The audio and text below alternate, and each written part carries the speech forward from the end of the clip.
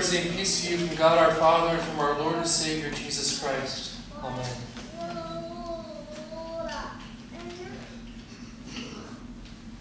If you've ever had a bad boss, you know how hard it is to follow uh, them as a leader. I uh, worked for Walgreens for one year. Um, it was right after college. Uh, Hannah and I left uh, um, Nebraska to go on her internship in Michigan. So we were in Flint, Michigan for a year, or just outside of it, and we, I worked at a store downtown Flint um, for Walgreens. I was there for a year. And we knew we would only be there for a year because we were going to go to seminary right afterwards, and so I, I hung it out. But it was, it was one of the diff, most difficult jobs I had because the boss was a, was a bad leader. She led with fear, with anger. She was a, a dictator in, in most sense of the word. And you know, sometimes that can be an appropriate leadership tool, but not without any sort of love or compassion involved. And she led with fear. She was the kind of person when you walked in, if you weren't working the minute you got there, uh, you heard about it. You heard about it loudly. And there was never a thank you or a great job or, or keep up the good work, anything like that. No encouraging words, but just the anger and the fear. Well, this, with the morale of the staff, it kept it pretty low to the point where a lot of people quit over my time there. I worked there for one year and I saw 15 people come in and go out uh, before I left. You see, the fear that she led with led to anger amongst the employees, depression among some, and, and, a general unwillingness to be a good steward of your time or the talent that you had or the resources that you had been entrusted with as a steward among uh, these employees. Basically, what would happen is people would come to work and they'd be told what to do and they would try to make it last as long as possible because if they were caught not doing something, they knew they would get in trouble. And so nobody wanted to be a good steward. Well, that's one type of a bad boss, the, the one who motivates based on fear and anger. But you can go to the other extreme, a bad boss who motivates simply based on wanting to be your friend. And if you've ever seen an episode of the, the show The Office, you know what I'm talking about. Michael Scott is the manager of a, of a regional paper company, and he's got an office that he works for. But he wants to be everybody's best friend, and he's more uh, motivated by being loved than he is by his bottom line. And so he doesn't hold anybody accountable. He has no credibility as a boss. He just wants to be liked. And so, as he leads his people, nobody wants to be a good steward of their time, their talent, and what they do, or the resources they've been entrusted with.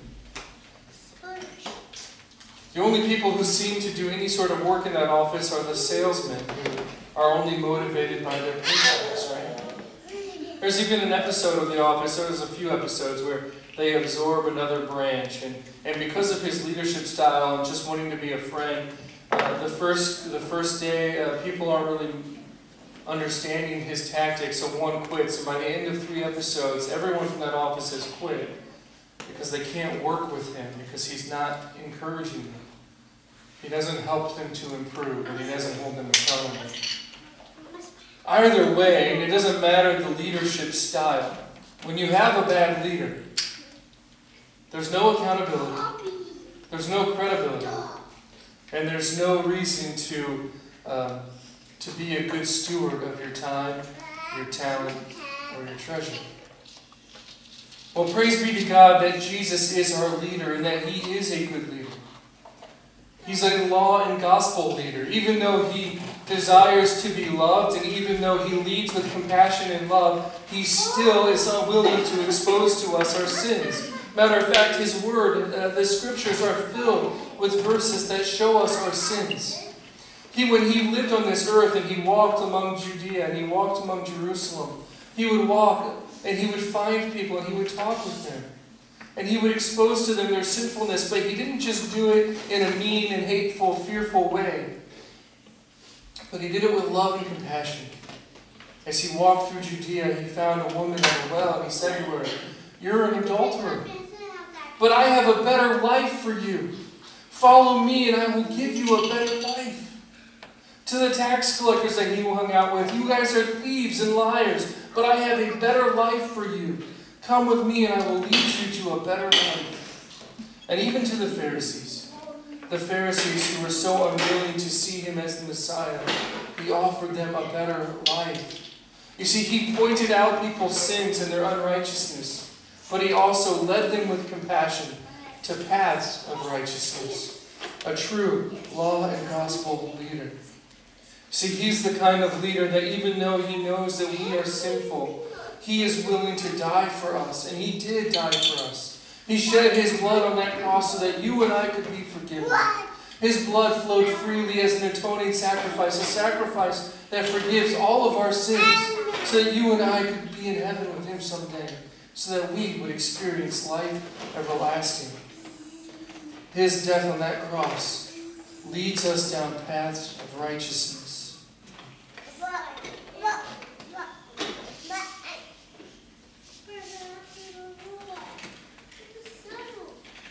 As we talk about Jesus' leadership today, we're going to use Psalm 23 as our text. Uh, psalm 23 is uh, a well known psalm. Uh, it's the one that we said earlier in, in the service, and we said responsively. The Lord is my shepherd, and He is a shepherd who leads His people.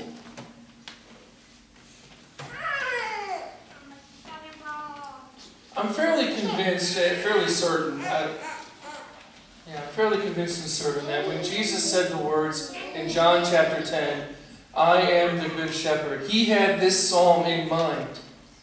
Listen to these words The Lord is my shepherd, I shall not want. You see, with Jesus, there is no desire, there is no lack of spirit of, of needs. He has provided for us everything we need to support this body and life. The Lord is our shepherd, and He leads us just like that poster of the shepherd, leading those sheep to, to good pasture where there's plenty of food, where He's leading them to water, He's leading them uh, maybe even to China, right?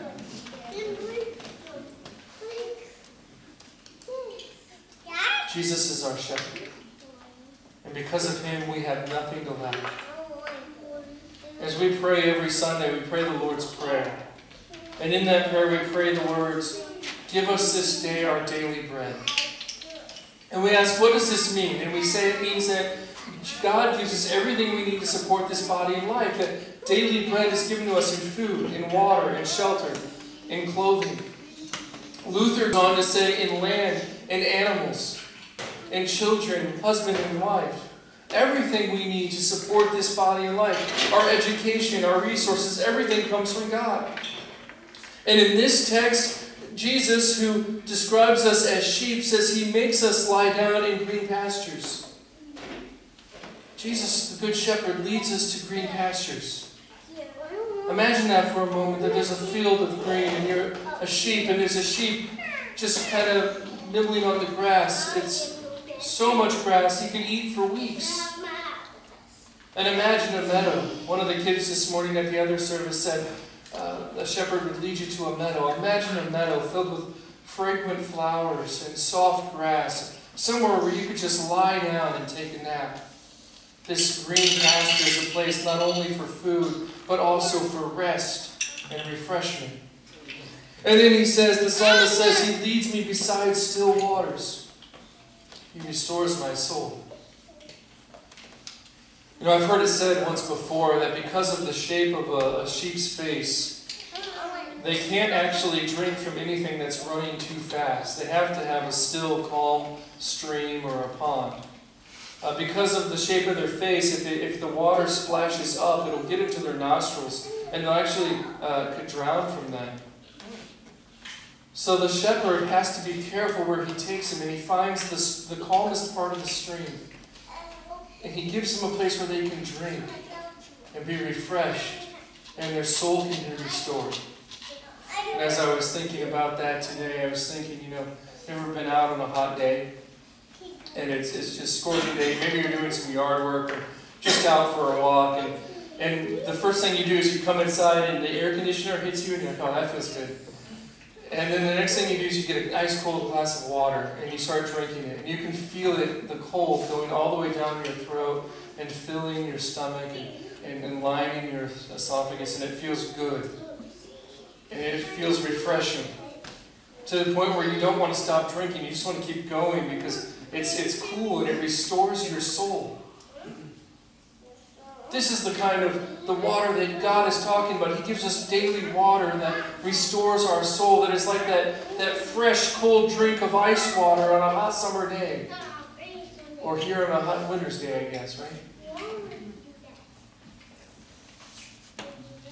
It restores our soul. And then he says, He leads me on paths of righteousness for His name's sake. Jesus, as our leader, takes us to the green pasture to be fed, to the water to be refreshed, and then He leads us on paths of righteousness. Not because I deserve it, not because of anything I've done, but for His own name's sake, because He is our God and He has chosen you and me as His people. He has chosen us to be His redeemed. So He leads us then on paths of righteousness, we are forgiven. He leads us on paths of righteousness where we are restored for his own name's sake. This is greater than any, any kind of leader I could ever even think of. Someone who would lead us on paths of righteousness just because of the, who they are as a person. And that is who Jesus is. And in our text today, in, in our gospel reading, he says, He is the good shepherd who even lays down his life for his friends. And that's what he does leading us on paths of righteousness, he sacrificed himself so that we could be forgiven.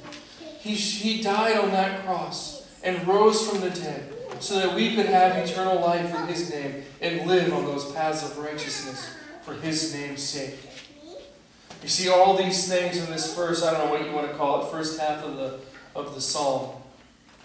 All of these things show how great and wonderful a leader Jesus is he is truly a loving and compassionate leader.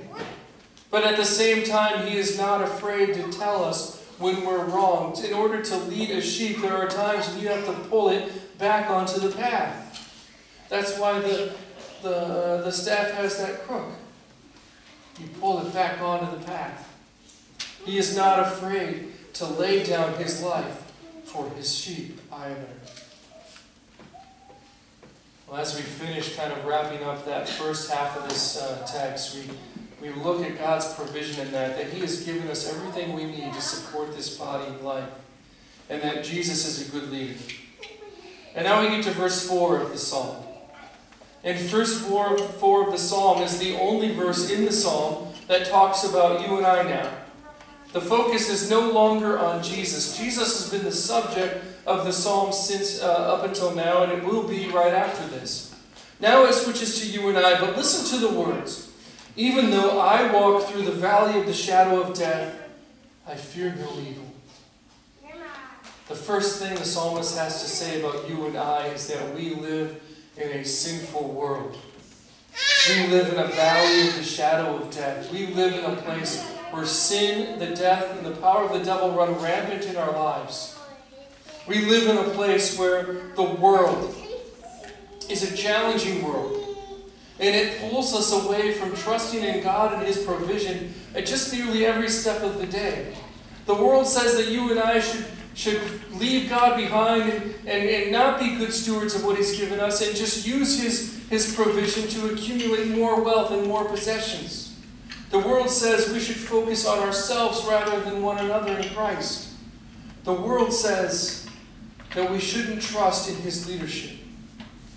The truth is that we are taken in by the world's lure as well. And we fail to be the good stewards of God's provision that he has entrusted to us through his leadership. God certainly has provided everything we need for this body and life. He certainly does bless us with food, home, and shelter. He gives us car rides when we need them. He gives us clothing when we need it. He gives us everything. And yet we typically turn and seek to gain more possessions or money. We typically try to utilize our time and talents for our own benefit instead of for the benefit of God's kingdom.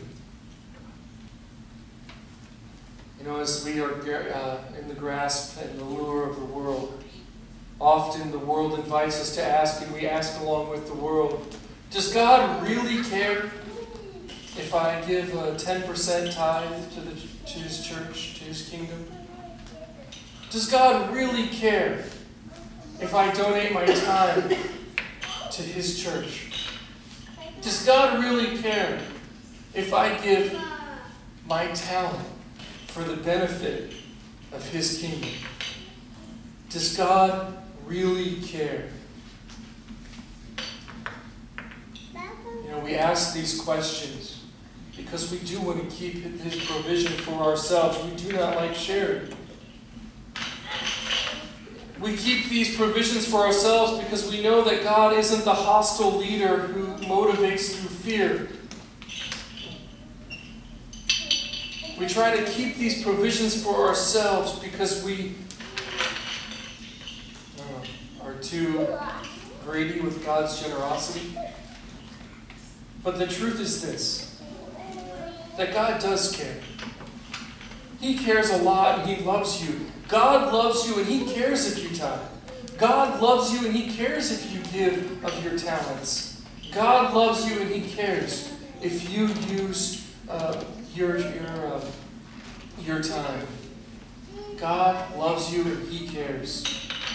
He cares so much that once again I'll say it, He sent His only Son to be our good shepherd, to lay down His life for His sheep to lead us on paths of righteousness, to provide for our every needs, and to be there when we need Him most.